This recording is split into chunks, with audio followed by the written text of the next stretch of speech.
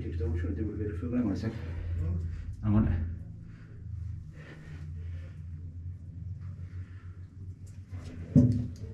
En